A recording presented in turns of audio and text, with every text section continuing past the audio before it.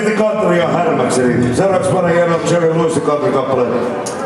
That kind of fool, eli hölmä tuollainen, kuka lieneekään. Eikä